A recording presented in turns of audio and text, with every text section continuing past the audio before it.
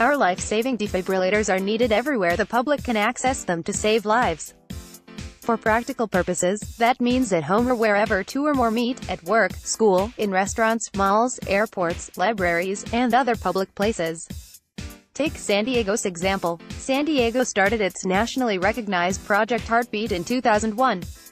Working with agencies, businesses, and organizations across San Diego County, they've deployed more than 4,000 of Cardiac Science's Powerheart AEDs in public places. Since the program's inception, these publicly accessible defibrillators have been used to save more than 129 lives. Imagine the impact on all those families, and the community at large.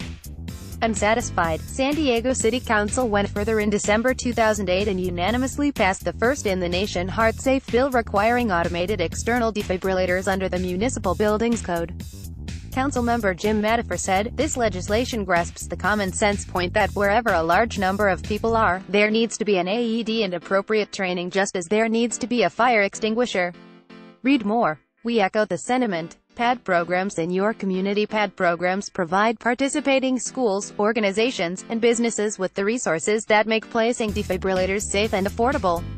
These resources include medical oversight, including physician validation of training, standards, and procedures. The American Heart Association's Heartsaver training for CPR with AED program maintenance, including record-keeping and data collection consulting on AED site selection and deployment incident management protection against loss, damage, or liability associated with an AED deployment. Preferred pricing for AEDs purchased through Cardiac Science. We welcome you to find out more about the many PAD programs that We've helped implement, and perhaps even start, one near you.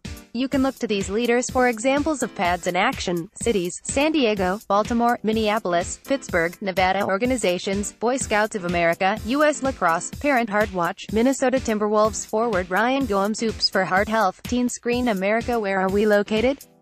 Headquartered in Waukesha, Wisconsin, just west of Milwaukee, the company also has a manufacturing facility in Deerfield, Wisconsin, as well as operations in California, Denmark, France, Italy, and the United Kingdom and has an installed base of over 500,000 units in nearly 100 countries worldwide.